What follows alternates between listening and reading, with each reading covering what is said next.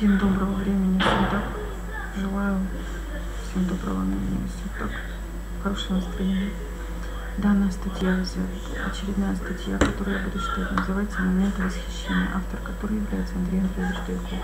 Ссылку на эту статью я оставлю под этим видео. Итак, сама статья. «Момент восхищения» называется статья.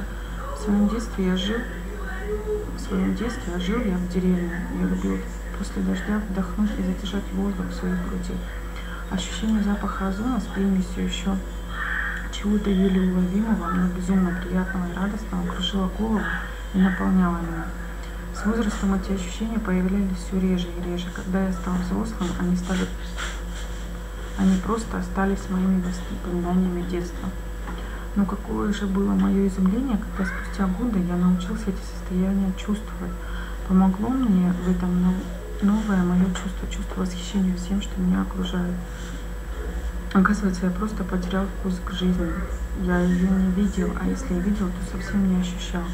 Мимолетные ощущения радости, которые присутствовали у меня в моем детстве, переросли в бесконечный экстаз радости, который никогда не заканчивается в моей жизни. Стоит лишь мне сказать «я восхищаюсь», и это начинается все колбасит, как в детстве, только уже по полной программе. Я восхищаюсь людьми, собой, природой. Каждую минуту в жизни я могу потратить на восхищение всем, что есть вокруг меня. Поверив в это и спив это ощущение до самого конца, приходите в мою школу. Я, начну, я научу вас восхищаться жизнью, ведь это так прекрасно основатель и руководитель школы эзотерической Андрей Андреевич Тайко. Статья это Андрей Андреевич Тайко. Внизу будет ссылка, как можно записаться в школу.